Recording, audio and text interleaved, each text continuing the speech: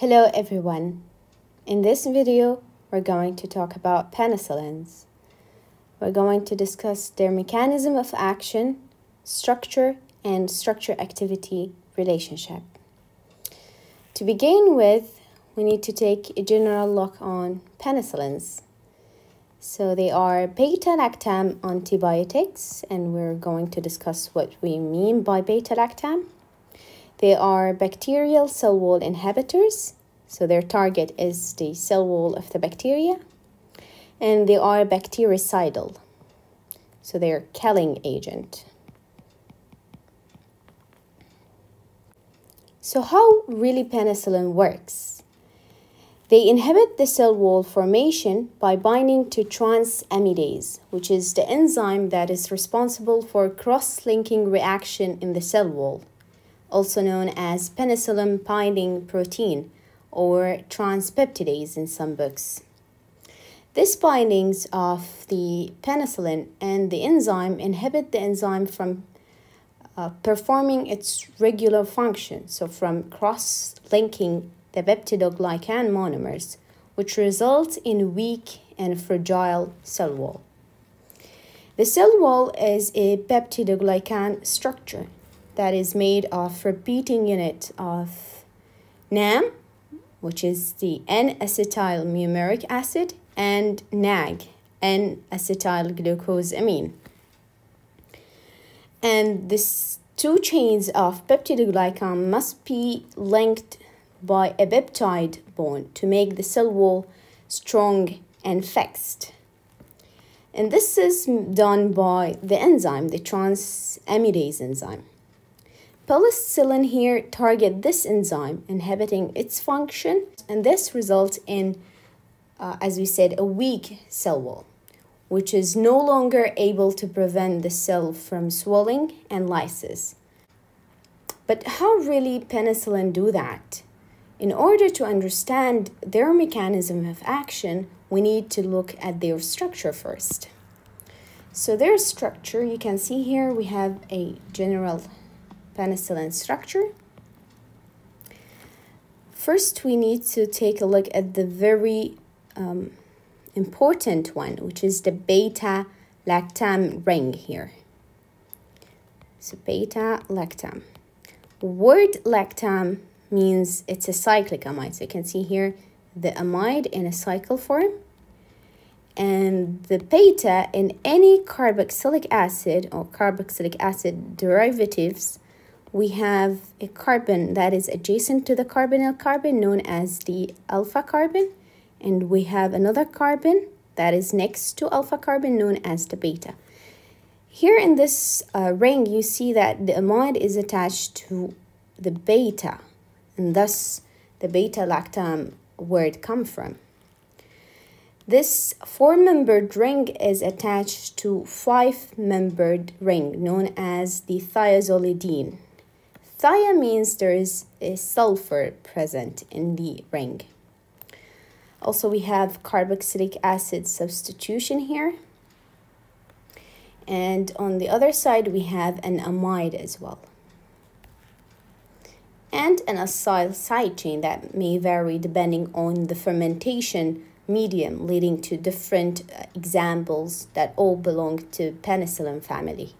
The skeleton of the molecule suggests that it is derived from two main amino acids, which are cysteine, shown here, and valine. If we combine them together, we get something called the 6-amino-penicillanic acid or 6-APA, which is just exactly as the penicillin here without the acyl side chain. So if we add to 6-APA the acyl side chain, we can get different form of a penicillin. So that means the 6-APA here act as starting material for semi-synthetic process of making penicillin. Still after we discuss the structure of a penicillin, we can't really know how it works, how it can bind to the enzyme and prevent it from working uh, and cross-linking the wall.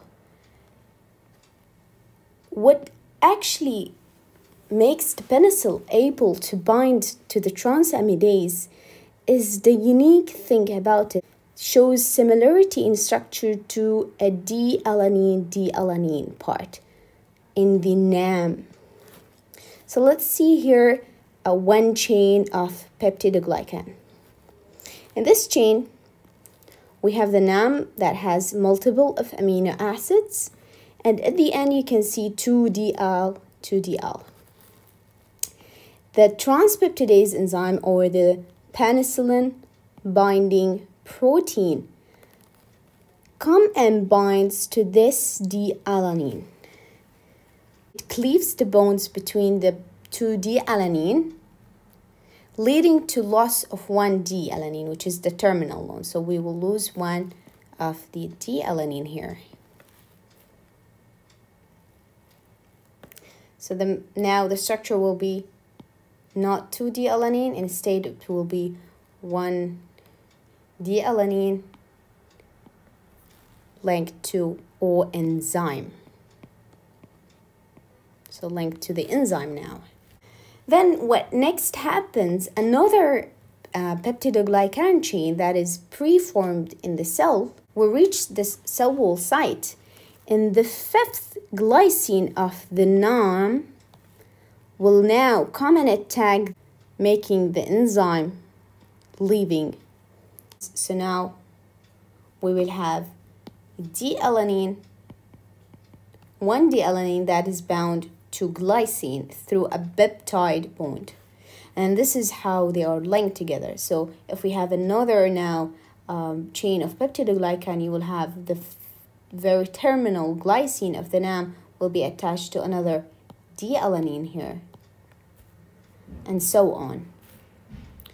So because penicillin has a similar structure to the D-alanine D-alanine, the enzyme might um, think of penicillin as D-alanine D-alanine as its site of action and combine to it.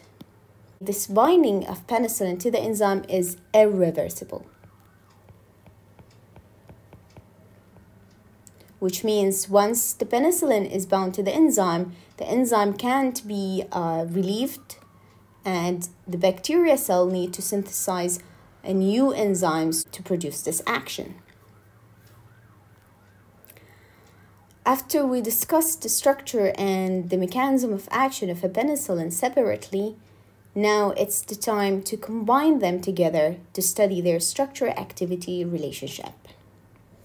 We have the here the structure of penicillin and we have five essential parts here.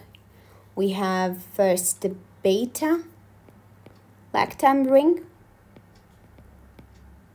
that is a must we have also a cis conformation here you can see the hydrogen is hiding there so the cis conformation because the two most important groups are at the same site. So it says it's a must. And also you can see this here, the carboxylic acid is also essential.